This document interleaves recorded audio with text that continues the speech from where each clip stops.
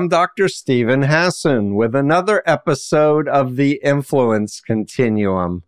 And I am so excited to share one of my favorite people on planet Earth with my audience, someone who has really touched my heart, my soul, and redirected my life, really.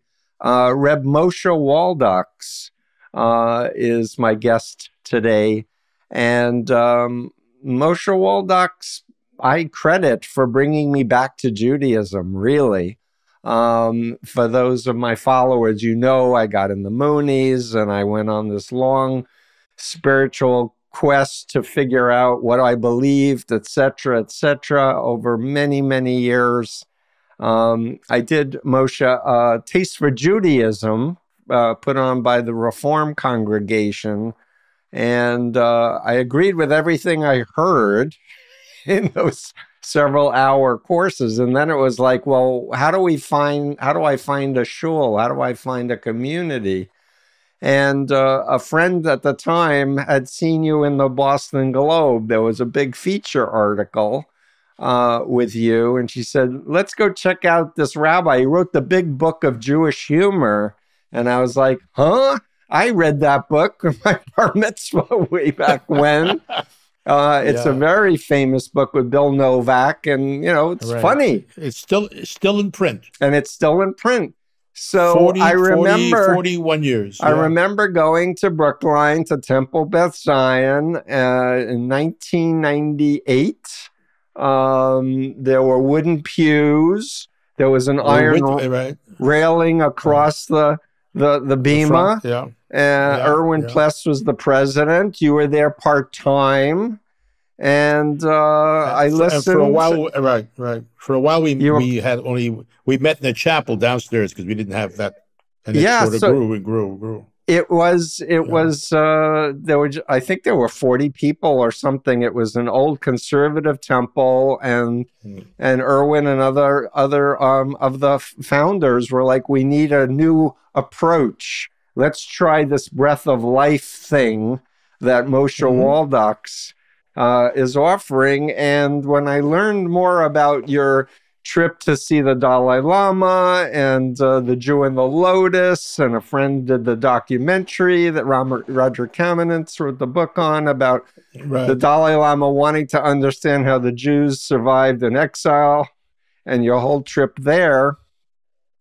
Then I was like, I need to check this guy out. And I remember bringing you to lunch several times and asked you, asking you question after question because I was that distrustful, honestly, of any leader, of any spiritual leader. And I just wanted to know that there was a foundation here of trust and something that I could resonate, not the Judaism of my childhood which was Hillcrest sure. Jewish Center in Flushing, Queens. Um, yeah. And so here we are. The, the, the, the temple is flourishing. You're now the rabbi emeritus. Uh, uh, Rav Claudia Kreiman has taken over. And I've been wanting, I, have interviewed you before, but not for the podcast. And I wanted to introduce the world to um, uh, an approach to Judaism that feels right and healthy and 21st century. And you're doing a play, a one person play called You Can Live If They Let You, uh, September 12th to 15th of 2024, the Plaza mm-hmm. Theater in Boston. And you're going to videotape it. So hopefully it'll have a life beyond the play. And I bought six tickets already uh, in advance. But let's just touch a couple more things. And then there's so many directions we can go in this conversation because we're now recording it in August before the 2024 election.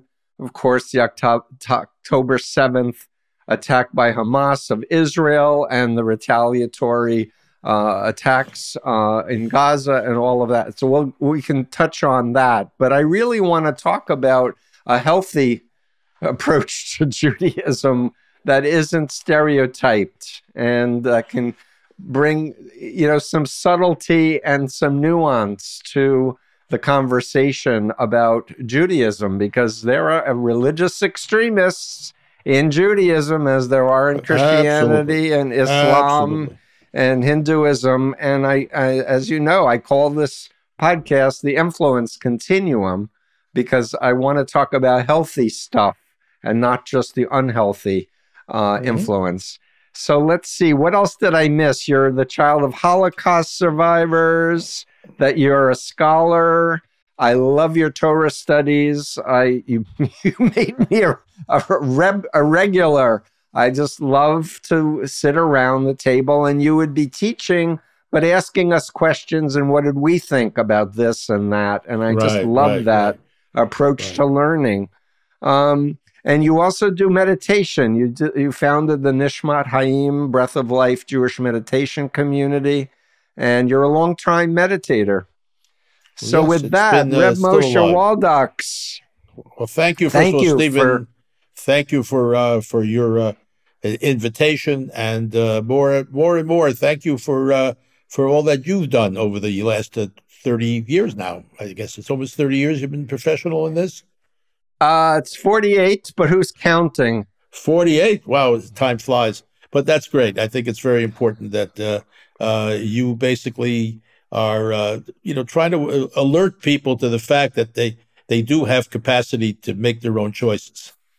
Right. And it seems, as we look at the world and this sort of tendency towards authoritarianism, there seems to be a lot of people who don't want to, who want to have choices made for them.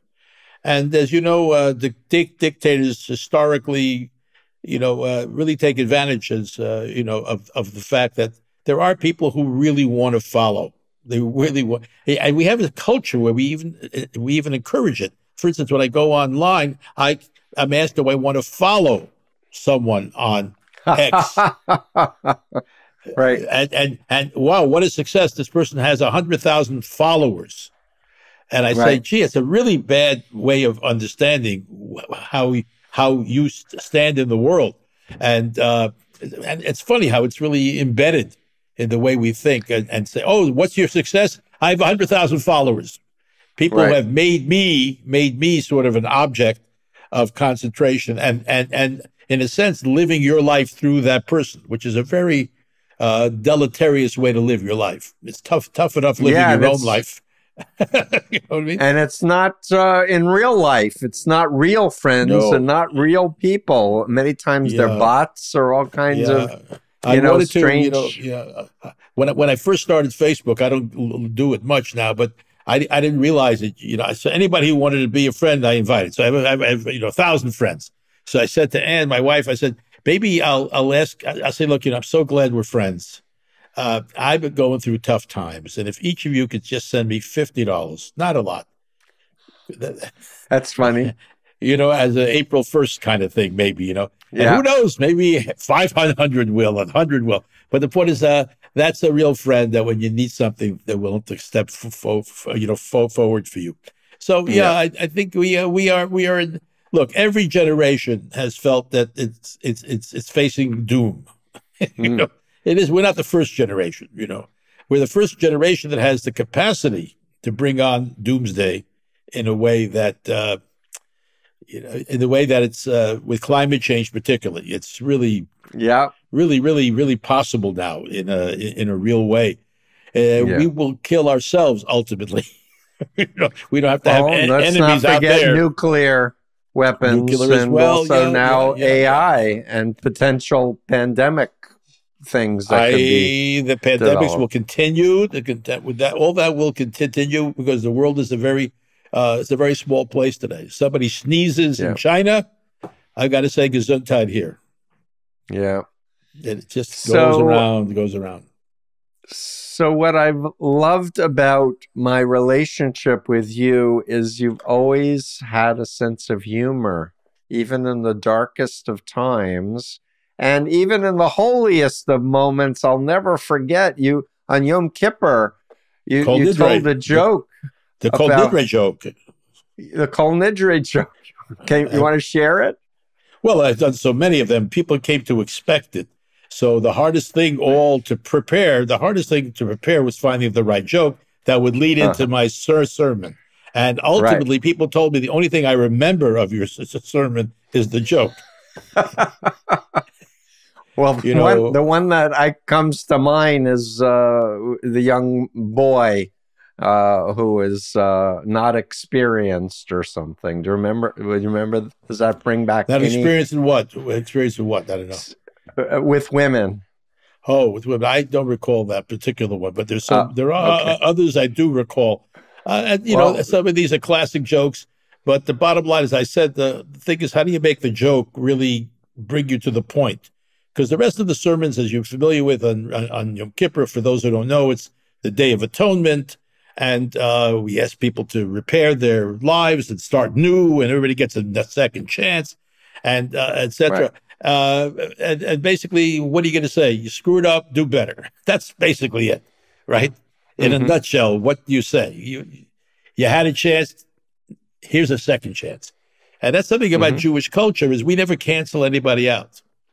We don't cancel people. We always believe mm-hmm. there's a chance, there's a second chance, there's a third chance, and every year you get a chance. And uh, sometimes you uh, it, it, works for people. They say, "Oh, there is room for change in my life. There's room for uh, emphasizing more important things than my own ego needs, which is what most people right. operate on now. You know, their own ego needs. So yes, I, so look, I never preached piety. We mm-hmm. were not an orthodox shul. Uh, we were an unorthodox shul. We're not affiliated with anybody. We have no axe to grind. They have no axe to grind. All I say is to people uh, is basically uh, how do you really develop uh, an integrated personality? And I've said that many, mm. many hmm. times. The, that's what it's all about. And of course, the next step is, you know, there's a, a Yiddish expression called being a mensch, a mensch, mm-hmm. which is a mm-hmm. responsive. It means being responsive and the next one, which people don't like, is being responsible. Responsibility is a tough word for a lot of people now, you know. And God forbid you should mm. say uh, obligation. At best, you could say a suggestion. Mm. So Moses came down from the mountain with 10 suggestions. Mm. you know. You also, I also remember you said teaching it was utterances was a more correct yes, right. It's, uh, it's not, it's not right, right, right. Commandment. It's not because we have in our tradition there are so many commandments, uh, but uh, they are not put into that category really as much because there are other things. But the bottom line is, uh, when you live in a Christian culture, you, you basically uh, have to accept the fact that there's a different way of seeing things and we're not all the same, which is great. Uh, you know, I'm a big believer in uh, bridge building between different uh, faith communities because I think ultimately we're all the same boat. Uh, and right. Uh, and and of course, the people that you meet in these things are very self-selected, and you feel very good about the fact that you have people in every tradition uh, who really know they should be ashamed of their own denomination. yeah, have, or elements of it at least. Or elements of it. So you know, I went to the Parliament of World Religions a number of years back, a number of years ago, and you see people from all over the world come together, and you know at least the people who have come together have said, "Oh, it's good to come together." So, yeah, so people enjoy each other, you know, and there's that commonality. Right. You can talk to anybody and this and that because you you shared this idea that coming together is really a value. And I think that's true. Yeah. I think uh, it is a, val- a value. Not everybody believes that because people are often frightened about meeting the other. You know, because the other. Yeah, but I remember you yeah. and T- and TBZ were one of the first to join the greater uh, Boston, Boston, Interfaith, Faith, right? Right, Interfaith, Interfaith Organization, Coalition. right? Right, right. We were the first, and that proved to be a very important uh, group for Boston. It, it's a it, it's a lobbying group. It's a lobbying group for yep all the things that we need in order to be a safe and prosperous and healthy society. And, it, and that's why we can never stop pushing because it doesn't always work. right, but it's not just Jews; it's many no, Christians, it's, we different have Muslims, denominations, Muslims. right, Buddhists. and a lot of uh, a lot of inner city ones, which is good because yes. we connect with them. Those are the burbs. Yeah, connect with the inner yep. city, uh, it's it's it's it's really a, a, refreshing thing. I think you have you have attended these large assemblies. Oh, absolutely. And yeah, and when you uh, say it's a lobbying thing, it's like we invite candidates Yes, to come we- and we hold be their feet to the fire. Right, we hold their feet to the fire and say, okay. Uh, and we also have tried, and we've been sort of successful in getting a seat at the table. yes. And that's and very we would important. poll all the members like what do you think are the most important topics this coming year and It- we'd it's right. vote It's a totally and put it on the participatory. table. It's a participatory. Uh, it's a really. It's there. It's based upon a uh, theory of, uh, of of community building that was started by a man called Saul Alinsky. I don't know if you've heard about him. Whatever. It was the idea Yes. that that things have to come from the bottom up. They can't come from the top down. If you want to build yeah it was an organizer he was a he Mhm. was the real father of community organizing. You know. And uh, right which I think uh, you know has worked because now there are many cities that have taken on this model. Uh, but Boston was one of Right. the more successful ones, I must say. Yep. So let's come back to your story, humor, why you became a scholar. I know that you didn't want to be a pulpit rabbi, but you Right. got kind of uh, Yeah. invited. I, uh, Go ahead. Well, Let's- I got I I uh, uh, uh, had have had many different careers over the years. Uh, I didn't get ordained, quote unquote, until I was 47 years old, and I did it the more Mhm. traditional way, which was the laying on of hands by three mentors who asked me to carry on their lineage. So I didn't. Hmm. So because I already had the graduate school thing, I got the PhD. I wrote the dissertation. I had that. Also, I had Right. a very extensive uh, a Jewish background, studying in in many uh, parochial schools from the time I was, you know, three to the time I graduated high high school. I lived in Israel for years. I'm fluent in Hebrew. I'm fluent in Yiddish, and I'm a sort of a connection to the Eastern European experience, which uh, which uh, unfortunately, as we know, uh, was destroyed. Uh, but uh, but uh, I, I I think there's a lot of value, and there's been a revival. Those of you know about the klezmer music phenomena, where people are reaching back and bringing music from that time, and because of that, being in, interested in Yiddish again. For those who don't know what Yiddish is, Yiddish is a a, lang- a language used by Jews for about a thousand years uh, in Eastern and Central Europe. It is a perhaps you can call it a fusion language. It's written in Hebrew l- l- letters. It has a lot of German in it, Old German. Mhm. And wherever Jews lived, they brought more words in, Slavic words, you know. Uh, certainly, you know, in the, in the United States, the first generation who came spoke Yiddish. The second started speaking what we call Yinglish, you know, like Spanglish. You know the term Spanglish, right? You- Yes, so give our listeners uh, a, a, a little uh, uh, offer, a little morsel. Say something, uh, and then explain what you well, want the, well, to the show that I'm doing, uh, you can live if they let you, is a translation of a very old Yiddish adage, uh, "Me can leben, aber me nicht." You can live, but they don't let, let you. I simplifies it a little bit to, you know, uh, you can live if they l- let you. So, you know, look, me ken zug asach of Yiddish, me ken zug asach. You can say a whole lot in Yiddish. Aber zug das beretnisch Yiddish, beretnisch Yiddish. Yiddish. You don't speak Yiddish, Yiddish speaks itself. Uh, and it's uh, it's a uh, it's a very heartfelt lang- la- la- language. It's also a language in which uh, uh, people have this idea that you know uh, that you know we were a very closed community. But uh, if you look at the development of Yiddish in the end of the 19th into the into the 20th century, these were the most universalist Jews. They were socialists, and they believed that Yiddish was the language of reaching the masses and Mm. and they and, and they were successful with it and they were socialists Yeah. they they translated every major book in the world into yiddish uh, so it wasn't a closed you know uh, parochial society and i think that's one of the mythologies of, of uh, you know you often hear the insult the jews are clannish clannish Mhm. whatever that really means, but clannish.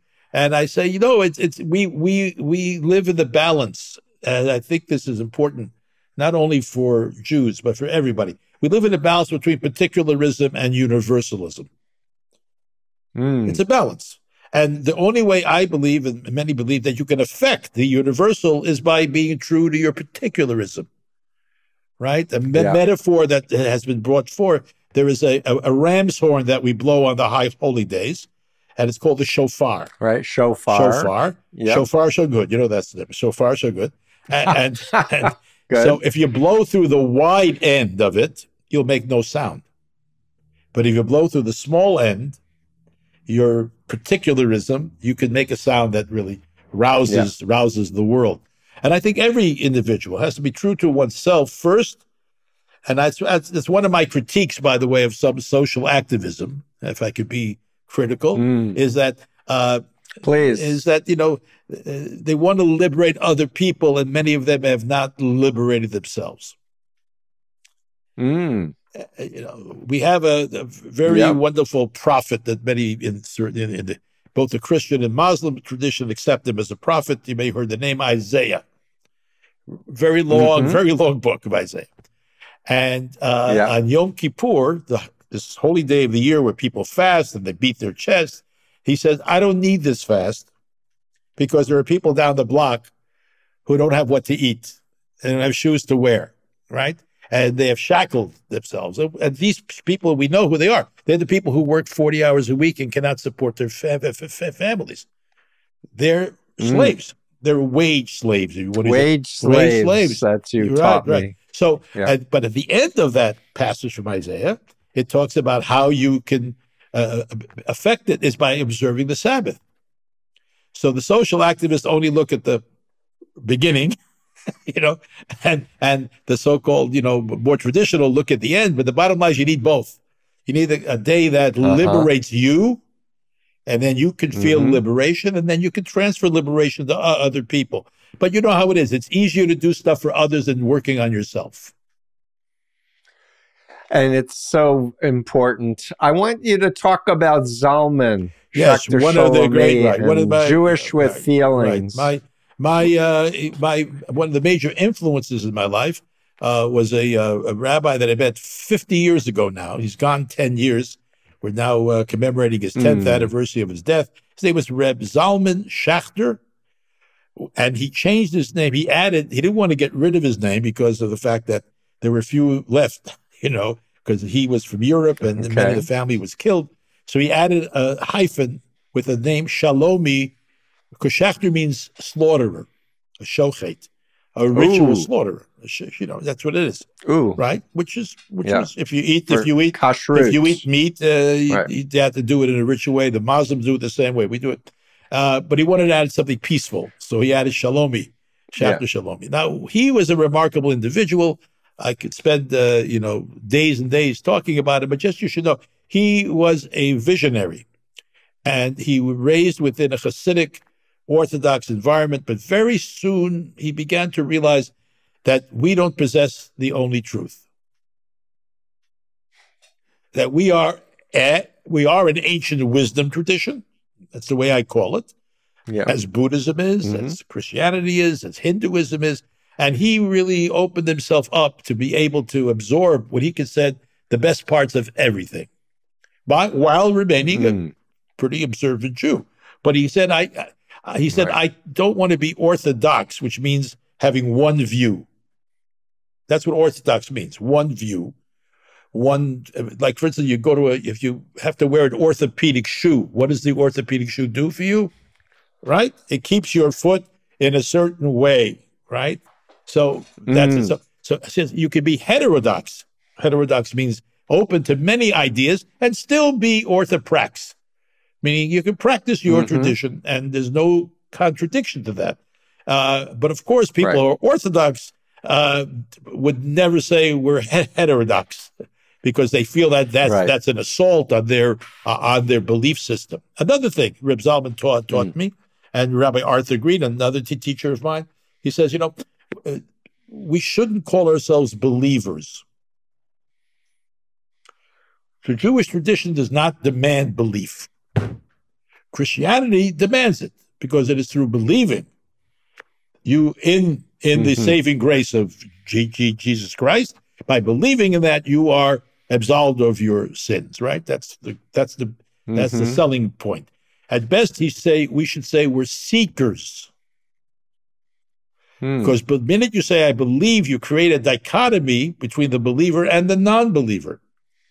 Also, belief to say I believe it's a little bit uh, of hubris, as if you really know.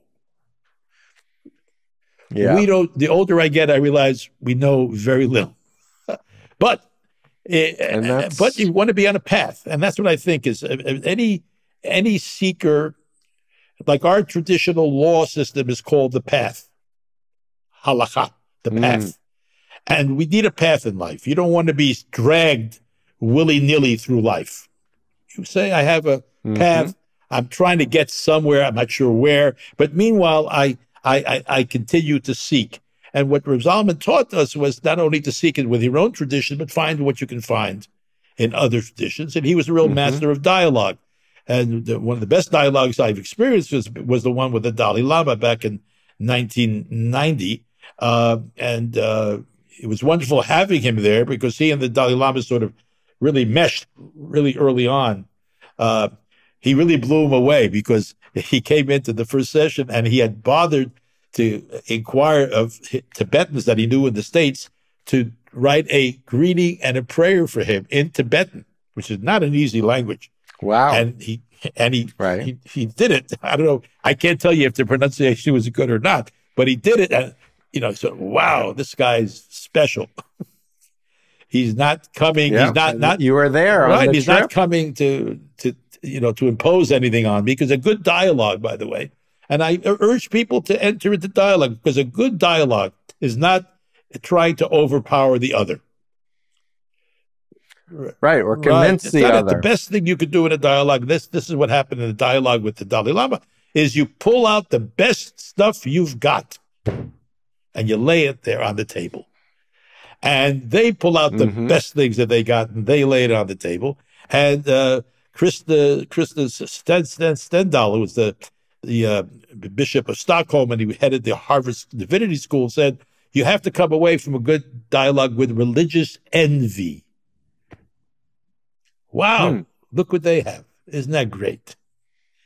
And they say the same. Like, hmm. I give you an example. We we talked about the Sabbath as being one of the real things that kept the community together in a- exile, right? That everybody, all Jews in the world, mm-hmm. had this one day of the week that they shared, even no matter where they were. Right. And we explained that traditionally you don't work for 25 hours, you close your shops, etc. And he was like taken aback by it, taken aback. Wow, you mean people actually are willing to sacrifice money? you know, which which is not easy for people. Right.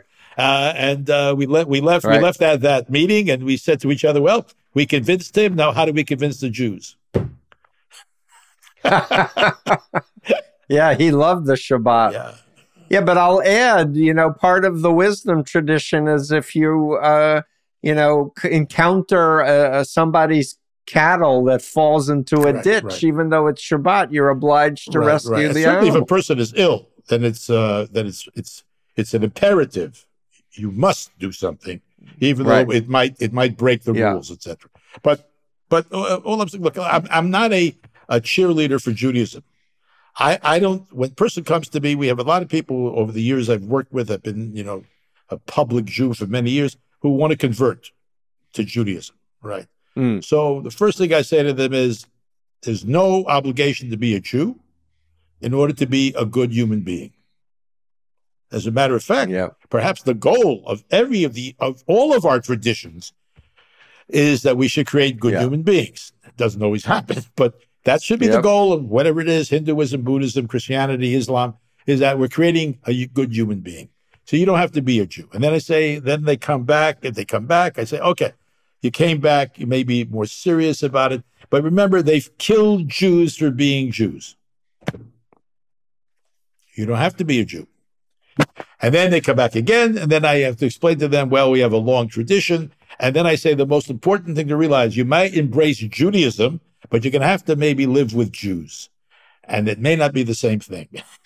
you know what I mean? Like you, you, you, you go to you go to uh, yeah. you know you go to to, to, to uh, one of these Asian countries that's officially Buddhist, but people may not be living up to the principles of uh, of you right. know uh, non-violence. We had a Buddhist uh, a Buddhist teacher in Myanmar who was uh, uh, terribly aggressive uh, anti-Rohingya guy. You know, it was really uh, very very sad mm. to see that he could ad- advocate violence where there's nowhere in Buddhist hmm. teaching mm. that really advocates that.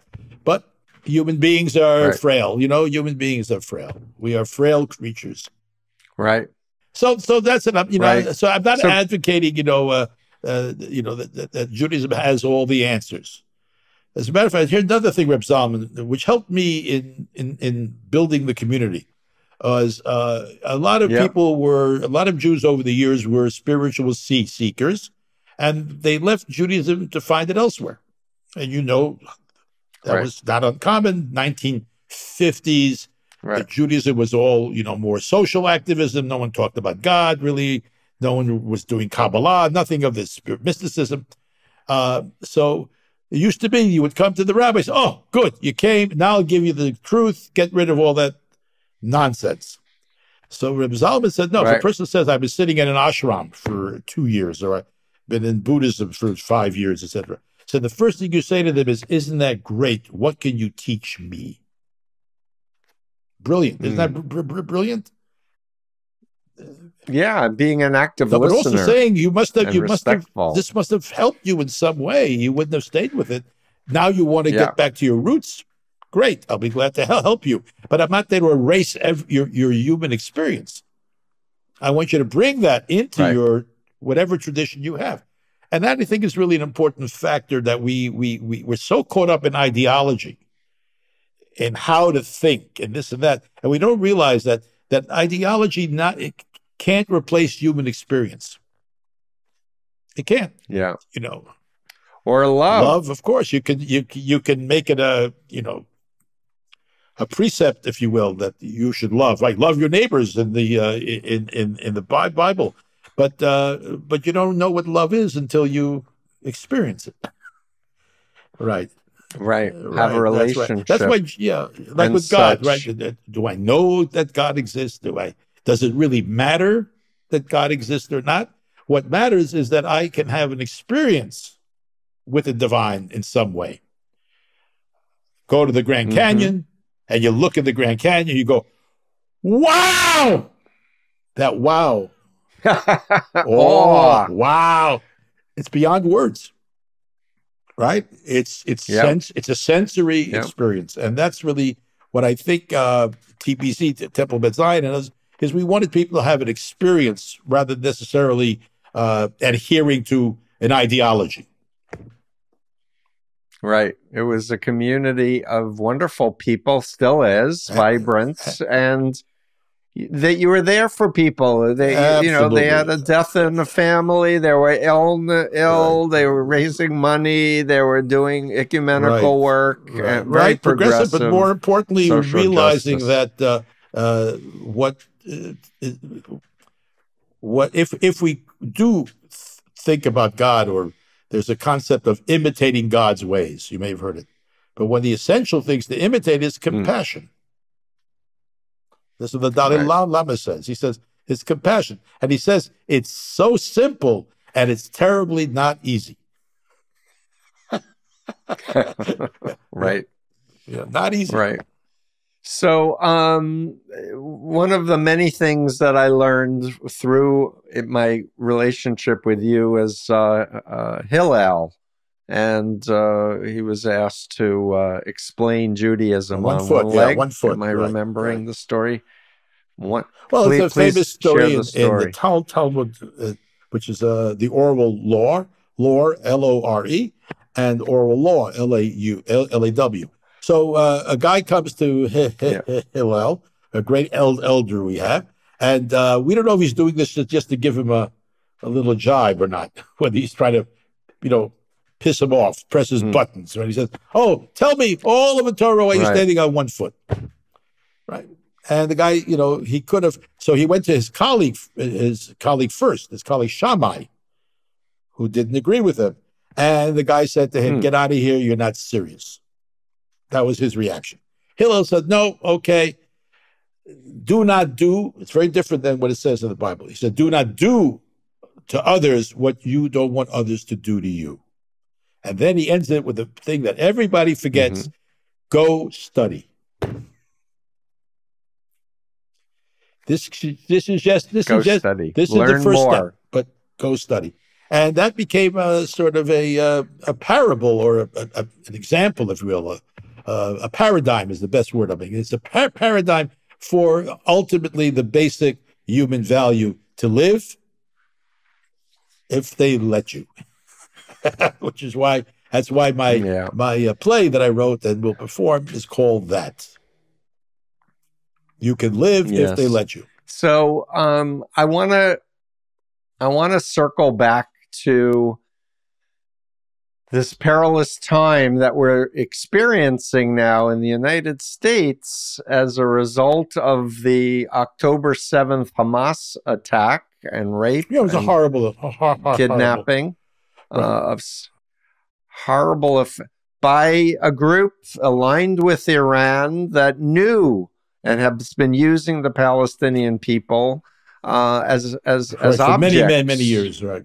And I want, I, so I'd love to hear your you share your perspective on uh, as an American Jew myself living in in in the United States and what I'm hearing with anti-Semitic, you know, tropes. What sounds like Hamas speak to me. Uh, I'd love to well, hear Hamas, what you. Hamas uh, uh, uh, ultimately has won. They were able, in a very short time, to let the these these fountains, if you will, or you know, of of anti-Semitism, which, as many people don't know and don't want to know, created Zionism. If there wouldn't have been hmm. anti-Semitism, Jews would not have said we have to leave Europe and go back to the homeland. They would have been very comfortable sitting in the cafes in Vienna, whatever. But the anti-Semitism in, in Europe at the end of the 19th century was so rife.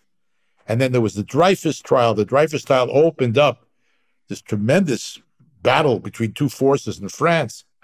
So uh, I always tell people, you don't understand. It's not like, you know, because Jews are Zionists, that's why there's anti Semitism. Not the point at all.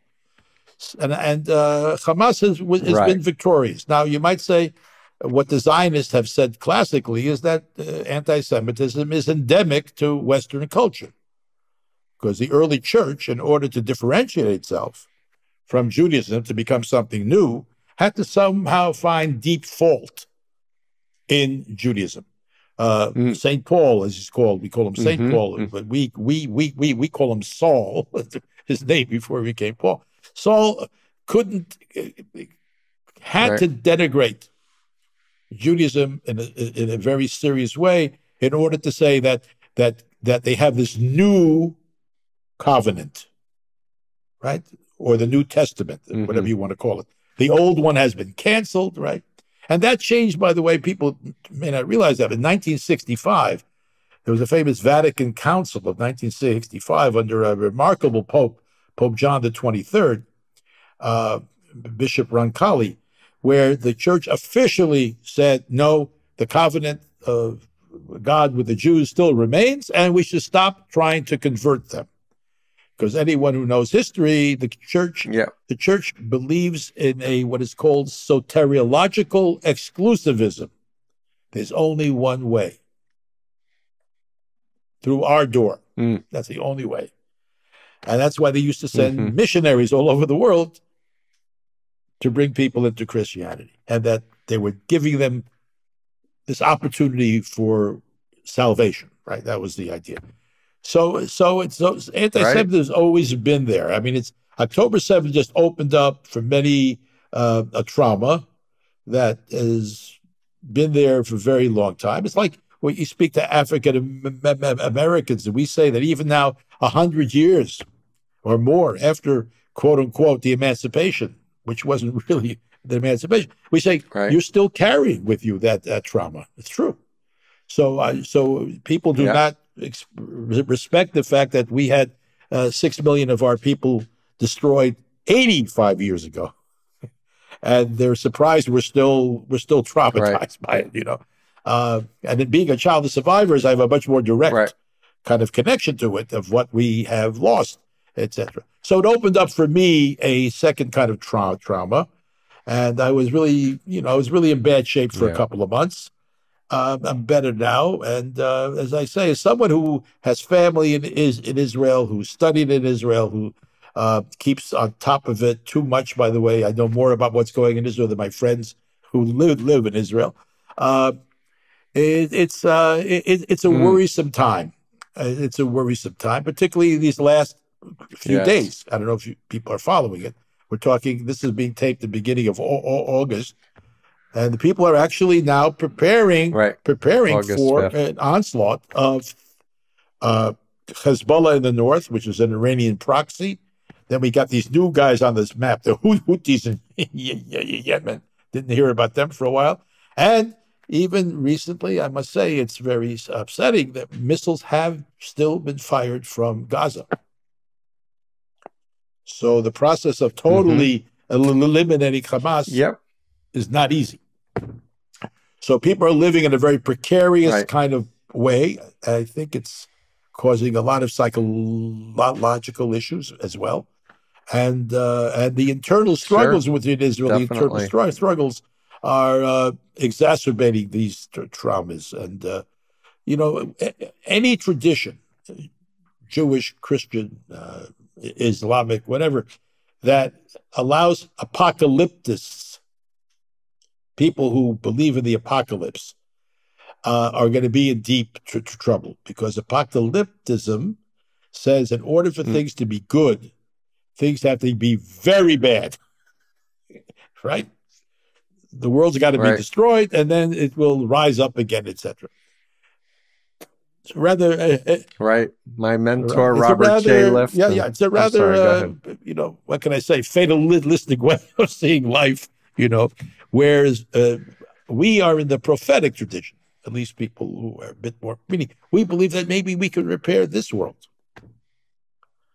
Maybe we right. can take our, our swords right. and make them into plowshares, right? That's the, the vision. It's not saying yeah. wait for things to be so That's... bad, it'll destroy itself. You know, it's sort of a, you know, it's a it's a fatalistic way of living. Yep, and you are the miss there is no Messiah, you, know, you are it, him it, you know, or it. I mean, Messiah has always been troublesome for us as Jews. You know, it, it tripped us up a number of times.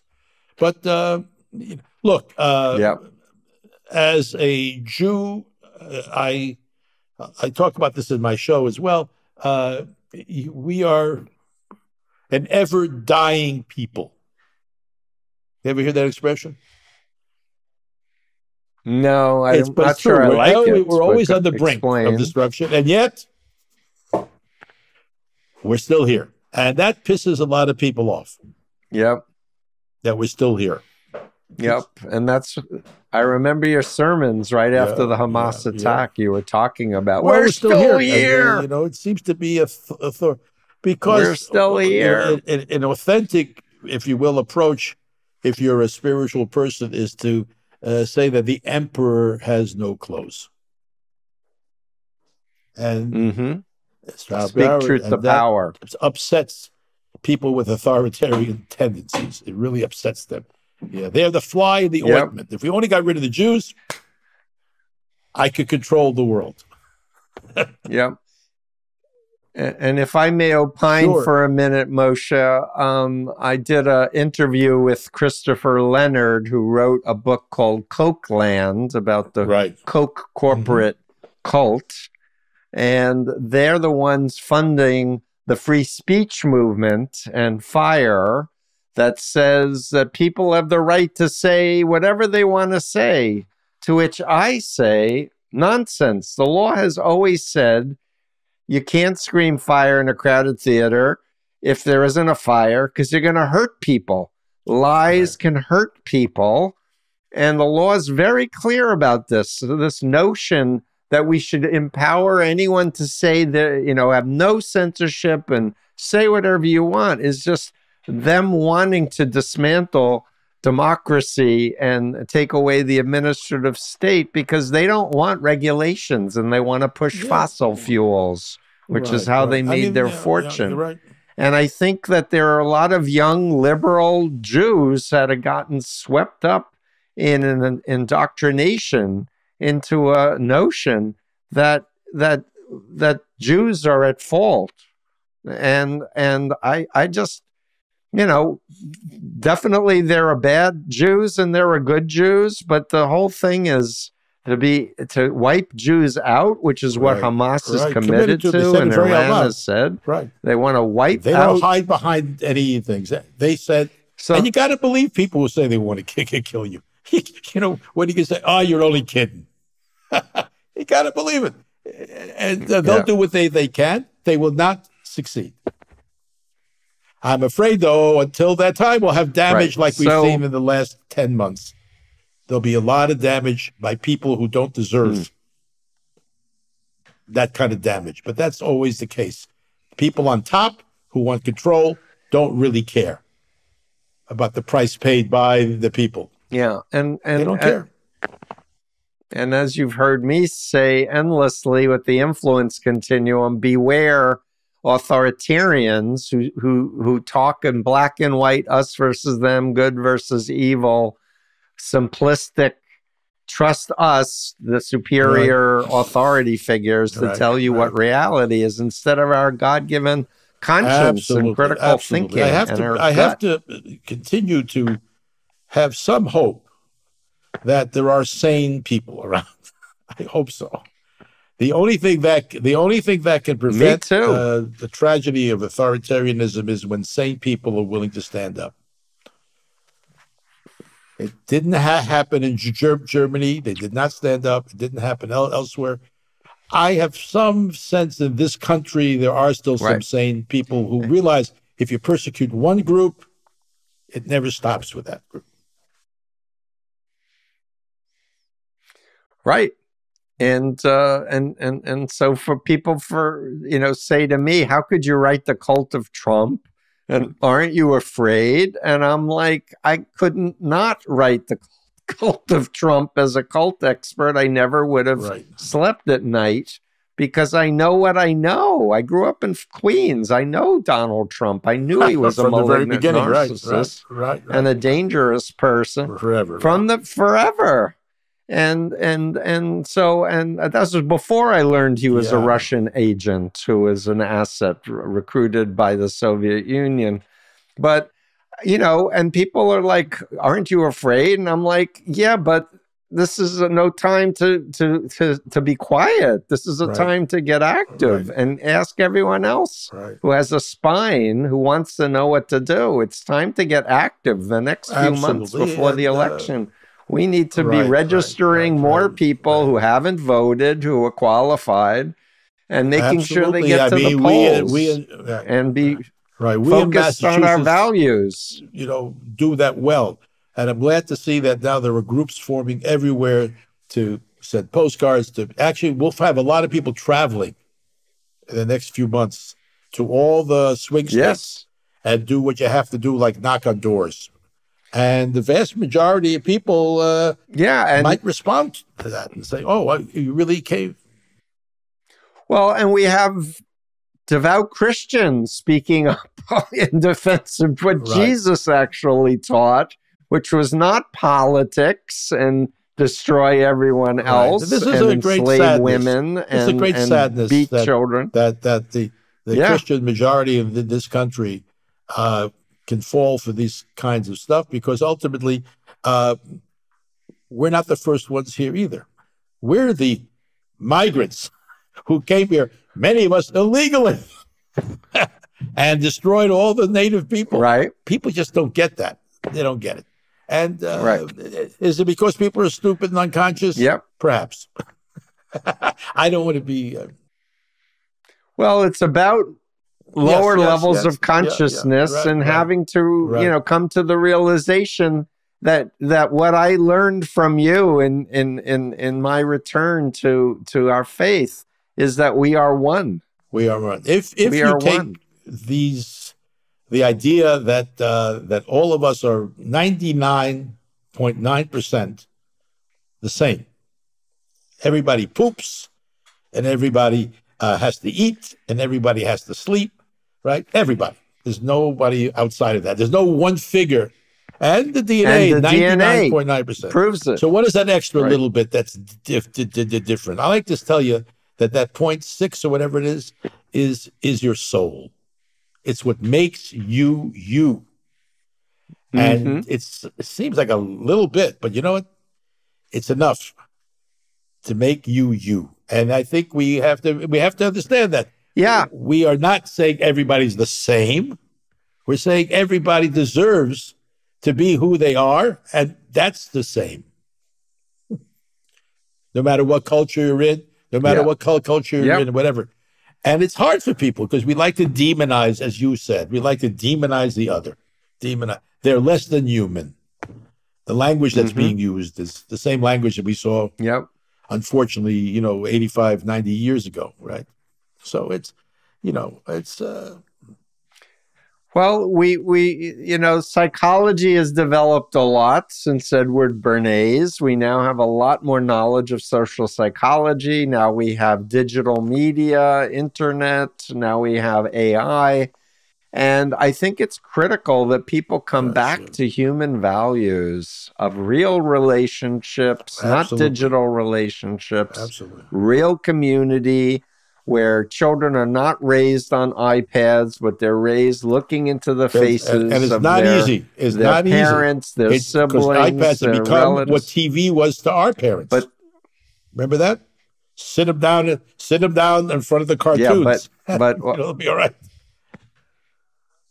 I'm afraid that I was of the TV generation. I should say my family had a radio. I remember yeah, when we deal. got a black and white TV. Deal. Then we got a color TV. And I was addicted. Sure. I would come All home from many school and I'd be, you know, were. watching the afternoon. I was speaking to a you young know, seventeen-year-old. Yeah, please. But I had my first yes. years. I had no. I had my first years that, interacting right. with humans, not too. with no. pixels. But social media, you know, is uh, it's it's it's uh, again, as I said early on, it it creates this idea of being a follower. I'm a follower, which is such a obviously negative term. Mm-hmm. you think about it. We shouldn't be following. Yeah. We should basically be creating ourselves and not following and living my life through Taylor Swift. I mean, who is wonderful. I very talented. She's talented. She's beautiful. Obviously, has a good business acumen as well, right? She's done very well for herself. But I, people live their right. lives through celebrities. And what do we use the term today? We use idols. There's a show called American Idol. Hmm. So yeah. we are idolaters. yeah. We are all idolaters. Yeah, and we're not supposed to, be. you know, right. We're I think we're coming to the end of our be. time, but I just want to say one thing about idolatry. Idolatry. Yeah. All of Please. You know, tradition says that, you know, idolatry, the way I've come to be taught from my TT teachers, is when one begins to worship the fragment and not see the whole. W H O L E. And this mm. was the hmm. contribution uh, in, into mm-hmm. monotheism by Abe, Abraham, who everybody respects in all the three Abrahamic religions, right? What was his thing? Right. I love trees. They're great. I love trees. I'm a tree worshiper. But you know what? There's something bigger than trees. Oh, the stars. Oh, I love the stars. But there's something mm. that we can't fathom that is larger. And that became, uh, if you will, one of the great contributions to civilization. Um, you know, it's it's it's has its it, it, it, it's been uh, sullied in many many ways over the years because some monotheists say, well, uh, it's a turf mm. game. Christianity took over Judaism. Islam came mm-hmm. and said, ah, oh, Judaism, Christianity were falsified, and we came to bring you the truth. So that we have to be careful about knowing or saying, I'm bringing you the truth with a right. capital T. You know, I'm not sure there is a truth with a capital T. Right. Right. So before we wrap up, yeah, you once shared a word with me that I thought, and then I had to look it up. Panentheism. Panentheism, right? Panentheism. Yes. Could you yeah. share with my listeners? Yes. Uh, those who may not know, the word theism means God. Mm-hmm. Uh, pantheism, pantheism, which many people I think know. I don't know. You can't assume anybody knows anything. First of all, pan means all over, right? You know, panorama, mm-hmm. right? view from all over. So if you're a pantheist, you see that everything is God. Mm-hmm. Like like Spinoza, right? Everything was mm-hmm. God. So for me, that's very powerful. And I must say, uh, as we say in Yiddish, when a shtickle, a little bit of a pantheist. However, those who would mm-hmm. like to still have something beyond the realm, beyond, uh, would be theists, right? I'm a theist. Mm-hmm. However, there's a way of maybe finding a way to have both together, and that would be uh, to panentheism. En was put in there, and it's being used by many d- different traditions as well. And I think that uh, when we celebrate anything, uh, certainly Judaism is based on nature and based on agriculture and all that. When we're celebrating right. that, we're celebrating the processes of nature. Mm-hmm. It is remarkable what the natural world is. It inspires awe. Yes. Physics is un effing believable. it's yes. really un- right. It's it's it's yeah, and there's a lot to admire. Yeah. And the fact that physics is not whimsical. Physics right. says the sun will come up tomorrow again. Even when you see clouds, the sun is still coming up. That's pretty. Right. That, that's pretty. What can I say? For me, very awe-inspiring. So that's why I'm not an Orthodox rabbi, pretty much, because I can't. I can't just say, you know, uh, you know, it, it, God created. Yes, that's the thing. If you have a sense of God that created physics, the universe, right. I don't need God to come and interfere in it. Mm-hmm. That's enough. That's enough to inspire right. me, right?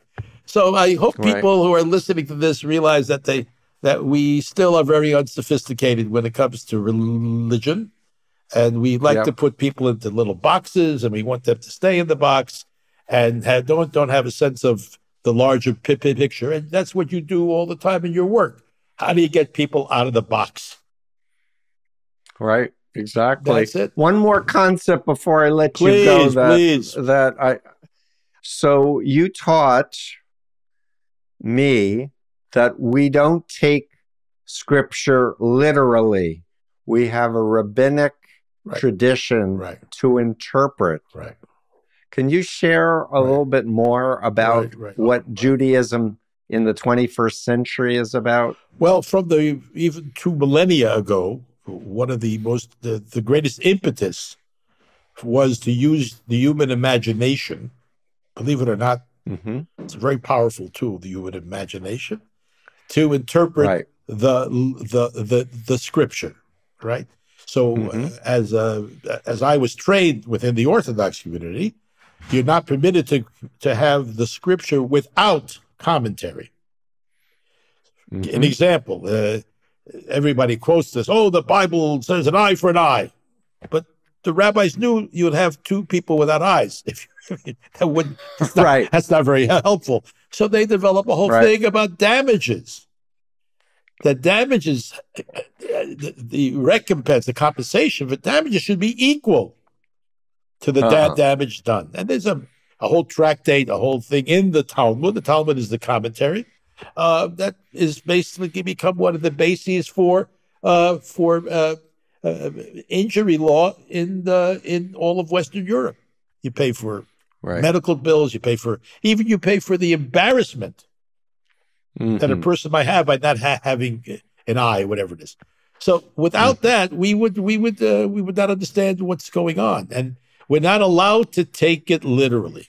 We're just not allowed to, and uh, right. and I think that's really so different. But you got to understand, those who say they take the Bible literally still pick and choose what they take.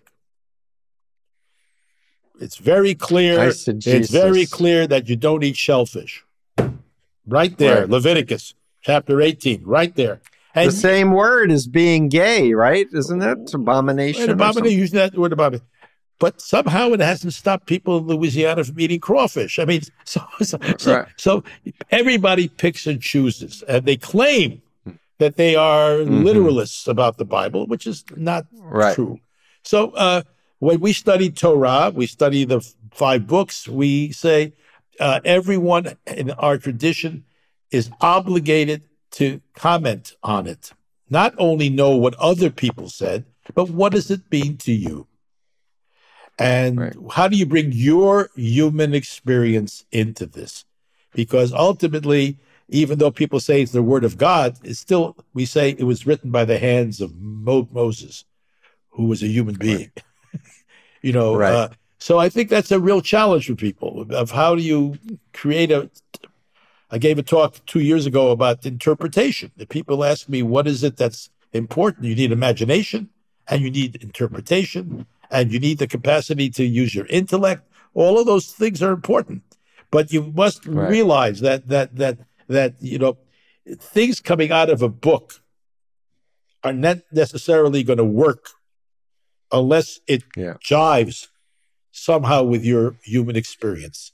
And we should give right. more and more credit to human beings. It's hard sometimes, you know, right. but uh, we should give more credit that people can bring their experience into understanding the world, understanding themselves, and hopefully understanding the other. Because guess yeah. what? The other also has the capacity for imagination, etc., etc. So this is yeah. our challenge, Steve. Beautiful. This is our challenge. And uh, and I think the people you invite, I must say, to your uh, podcast, all feel that this is a challenge and that uh, we're up to it if we're willing to yeah. take it on if we're willing to take yeah. it on. And that's why it's sad when you see so many millions and millions who don't want to take that on. It's just, it's, it's upsetting. Yeah. Yeah. Yeah. So uh, again, thank you for inviting me and giving me a chance to pontificate a little bit here.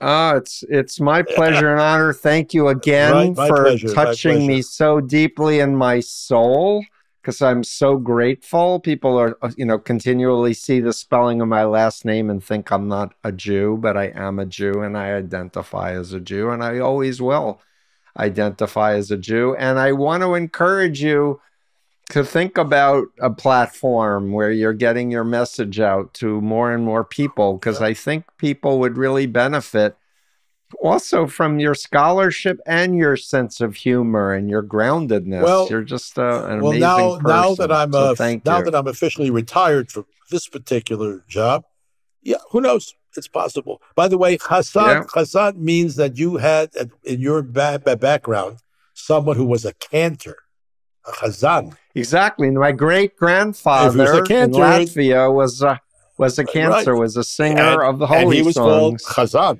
and it became written in English exactly. as Hassan. But it's the Ellis Islandized. Same, yeah, yep, exactly. It's exactly the same name, uh, etc. A very classic name, by the yep. way. You know, it's, it's like it? here in the okay, United States, we name people after their occupations, right? So as we wrap up, I want to wave let's to do a short, short devar on shalom. Well, shalom. The word shalom means uh, wholeness, wholeness, from the root shalem. Uh, and uh, it talks about not only uh, peace, but it talks about the capacity uh, to maintain your equilibrium. Equilibrium. Mm. And the possibility, and it's not, not easy, it's simple, but not easy, uh, to achieve some sense of tranquility. Mm. We are not able very often to feel tranquil as the mm. world invades us every moment with information, etc., etc. So uh, when I wish you shalom or you wish somebody shalom, you're basically saying be a whole person. Mm, I love be it. Be a whole person. Shalom, Reb Moshe Waldoks. See you soon. Take care now. Take bye care. Bye. Okay, bye. Steve Hassan here. You know, it's been decades since my family rescued me from the Moonies. I've been at this for over 47 years. The need has never been greater. If you're able, please consider hitting the super thanks button below and it'll help us to do better. Every penny will help us toward our goal of educating the planet about undue influence. Remember, it's your mind, only you should control it.